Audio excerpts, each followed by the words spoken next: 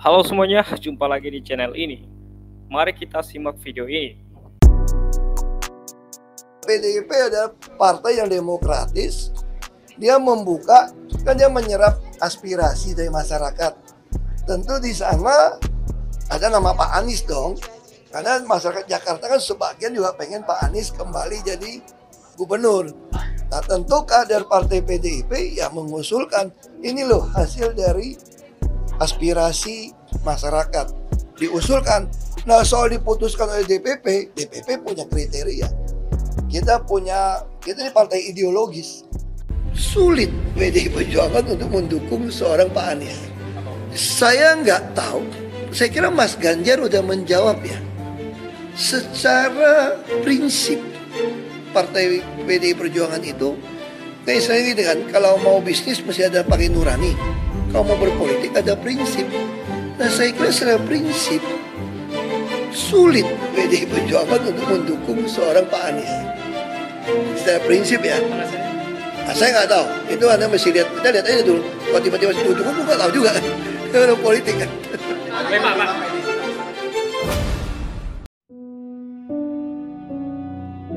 Kalau terbuka kemungkinan, yang mana yang memungkinkan? Apakah uh, Ahok versus Anies atau Ahok dan Anies? Saya nggak tahu. Hmm.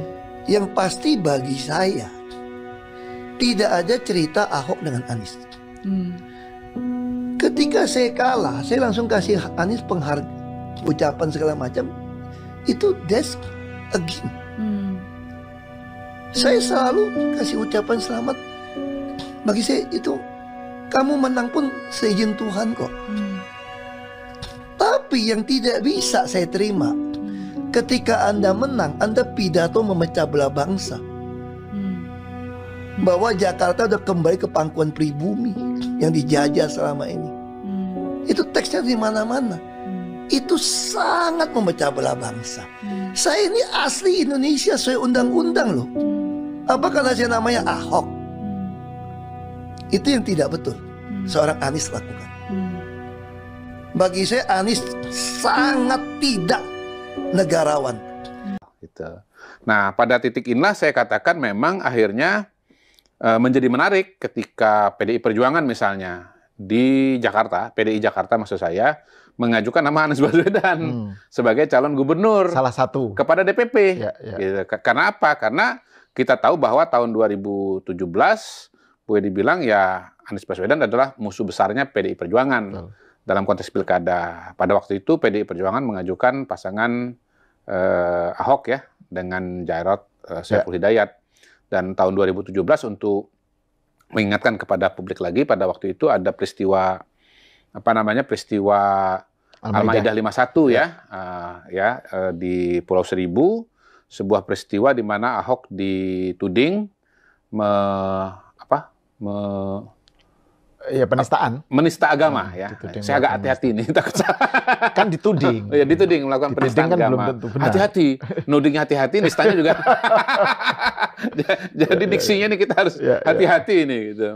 Jadi kasusnya penistaan agama dan kita tahu pada waktu itu Ahok akhirnya divonis bersalah dan masuk penjara dan sebelumnya Ahok eh, kalah juga dalam pertarungan di Jakarta dan sebelumnya lagi ada peristiwa-peristiwa politik sangat besar, ada peristiwa demonstrasi pengumpulan massa yang sangat-sangat besar, barangkali terbesar dalam sejarah Republik. Hmm. Ada 411, Hmm. 4 November maksudnya. Ya. Ada 212, eh, dua apa 21 Februari ya 212. Em, yang November itu pada tahun 2000 Enggak, 2 Desember. Sorry 2 November Desember ya. sama 2 2 Desember. Desember, sorry, Ya. mohon maaf, 2 Desember. Karena sambil ingat-ingat nih. Iya, iya. Ya, sambil ingat. Dan yang terpenting adalah pada waktu itu eh, isunya yang berkembang ada berkembang adalah isu eh, keagamaan Ya. ya. Sehingga kemudian disebut pada waktu itu ada politisasi agama ya. Hmm. Kita tahu bahwa rakyat kemudian masyarakat juga menjadi terbelah gitu ya Hmm. antara ya menerima atau memahami Ahok dengan kontra kepada Ahok dan garis miring mendukung eh, Anies Baswedan Ya. Pada waktu itu. Dan eh, ya intinya pada waktu itu masyarakat Indonesia bukan cuma Jakarta ya, Ya, saya garis bawahi ya bukan cuma Jakarta tapi seluruh Indonesia itu terbelah. Saya ingat kok saya kan karena eh, tinggalnya pindah-pindah saya, sekolah saya pindah-pindah Itu WA grup saya itu di WA grup saya di Kalimantan Tengah, WA grup saya di Palembang, WA grup saya di eh, Lampung, WA grup saya di Jakarta itu ikut terbelah loh. Iya. Jadi yang terbelah pada waktu itu bukan cuma Jakarta tetapi seluruh Indonesia. Dan medsos juga. Ya ya ya. medsos juga terbelah. Saya menganggap WA itu bagian dari medsos Iya, lah. iya, iya, iya. Jadi pada waktu itu ada polarisasi ya, ada politik identitas yang sangat-sangat kuat. Dan saya kan selalu mengatakan ini cerita kita balik lagi mundur ke belakang bahwa politik identitas itu trennya sebetulnya menguat. Pasca 2014 ada jembatannya 2017 lalu kemudian 2019. Hmm. 2019 itu menjadi polarisasinya menjadi sangat keras. Keras banget kan waktu itu Hmm, kan, hmm. gitu. Bukan hanya karena adanya media sosial. 2014 media sosial masih terbatas. Waktu itu kampanyenya masih pakai tabloid. Iya, iya. tabloid rakyat. Tapi kalau tahun 2019 kampanyenya udah pakai medsos. Ya. Nah, tapi menuju 2019 itu ada presidennya 2017. 2017 itu adalah dalam tanda kutip pemanasan Hmm. menuju 2019.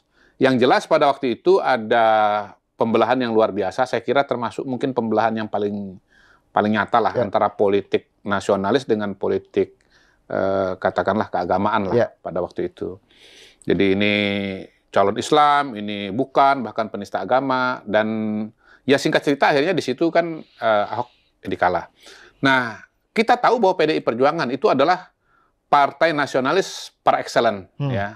Setida- Setidaknya selama ini dianalisa sebagai partai yang mewakili kelompok nasionalis, kemudian juga sikap-sikap politiknya juga nasionalis, dan pilihan-pilihan politiknya juga nasionalis, Hmm. sebagaimana tercermin pada Ahok.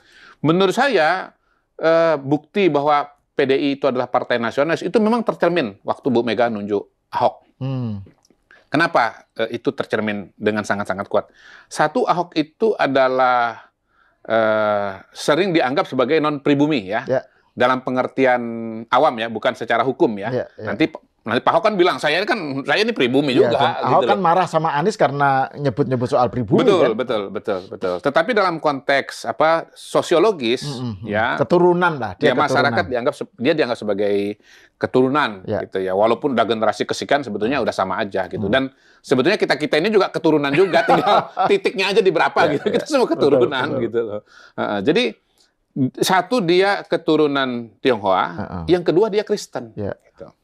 Nah itu itu kelihatan bahwa PDI itu sebagai guardiannya minoritas itu kelihatan di situ. Eh, yang penting kemampuannya, yang penting kompetensinya, Mm-mm. tidak melihat latar belakangnya. Menurut saya itu memang apa ya pengejawantahan dari dari filosofi atau perspektif nasionalis yang sesungguhnya.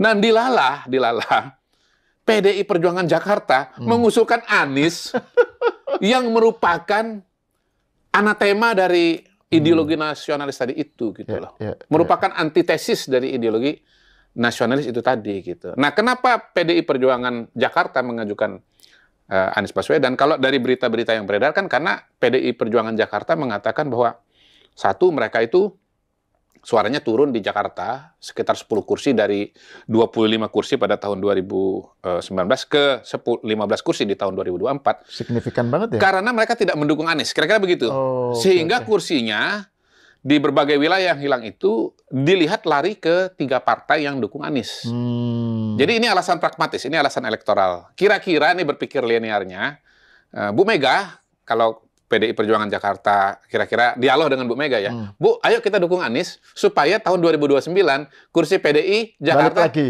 25 lagi. gitu kira-kira Ya, ininya ya, ya. cara berpikirnya.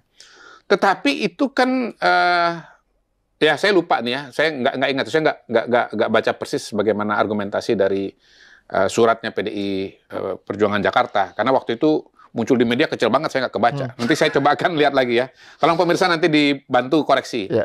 Nah, apakah di situ ada argumentasi soal residu Pilpres 2024 bahwa PDI Perjuangan berhadapan dengan Jokowi dan Anies Baswedan adalah antitesis dari Jokowi. Jokowi, ya. Ya, di mana di sini berlaku ada ada gium my enemy's enemy is my friend. Ya, Kira-kira kira begitu. Garis garis miring unholy alliance Heeh. gitu. Nah, presiden semacam ini kan sebetulnya sudah pernah muncul juga di kampanye 2024 kalau kita ingat pernah ada gagasan salam empat jari ya. Ah, ya. Di mana antara satu dengan tiga, Tiga. gabung melawan dua. Betul. Satu Anies, tiga Ganjar itu bergabung melawan dua. Prabowo garis miring Pak Jokowi gitu. Nah, apakah ada juga perasaan-perasaan anti Jokowi yang menyebabkan mereka lebih memilih Anies Baswedan? Hmm. Walaupun secara sejarah ya mereka ini anti mereka ini lawannya adalah dari Anies Baswedan gitu. Tetapi yang paling fatal sebetulnya adalah bahwa ketika PDI Perjuangan itu mengajukan Anies Baswedan, maka menurut saya runtuhlah gagasan, konsep atau klaim PDI Perjuangan sebagai partai nasionalis. Hmm. Karena the very person yang akan mereka dukung sebagai calon gubernur adalah the very person juga yang justru adalah musuh besar dari nasionalis itu gitu loh. Ideologi nasionalis tadi Ya. itu gitu. Pilih pilih pilih saya karena saya pribumi, dia bukan pribumi kan Ya, gitu kan. ya, ya. Pilih saya karena walaupun ini tidak secara langsung karena saya Islam, dia bukan Islam kan Hmm, begitu kan. hmm, hmm. Ya ketika menggunakan sentimen keagamaan dia penista agama loh, dia menghina agama Islam. Itu kan sebetulnya cara halus atau cara muter dikit untuk mengatakan ya pilihlah calon yang Islam dan yang bukan yang menghina Islam atau Hmm, hmm. musuh Islam atau agamanya bukan Islam gitu. Jadi menurut saya akan menjadi sebuah tra- tra- tragedi sangat besar dalam perpolitikan Indonesia kalau nanti betul-betul ternyata DPP PDI Perjuangan Ibu Mega mengajukan Anies Baswedan. Hmm. Menurut saya itu harus ditinggalin tuh klaim sebagai partai nasionalis itu. Ya.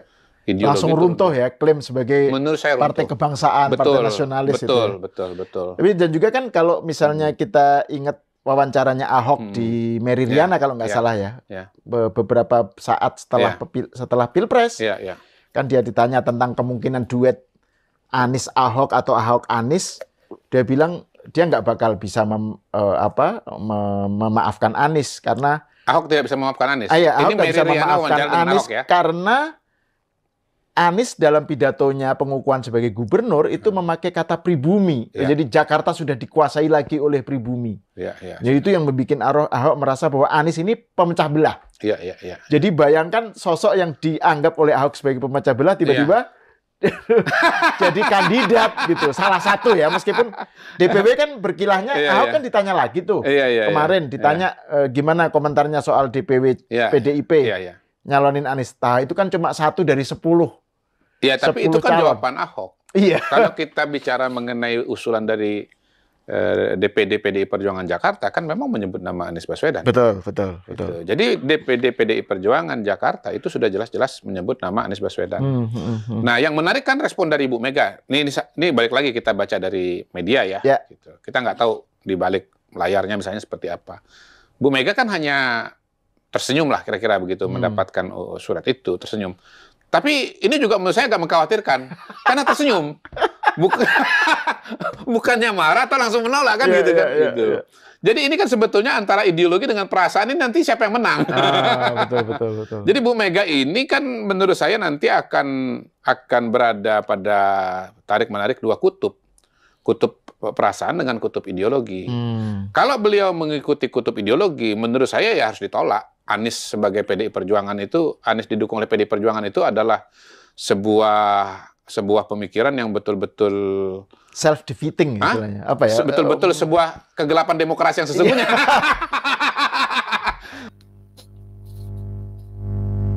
Nah, semuanya itu dia cuplikan video yang menurut saya menarik untuk kita ketahui bersama bahwasanya eh, kisah pilu dan sedih yang dialami oleh Pak Ahok pada tahun 2017 silam di mana eh, Pak Anies ini dengan politik identitasnya berhasil menjatuhkan Pak Ahok teman-teman. Yang mana ini merupakan peristiwa kelam yang dialami oleh PDIP tentunya teman-teman. Dan sekarang di Pilkada DKI Jakarta 2024 PDI ini seakan-akan melupakan hal yang menyakitkan itu teman-teman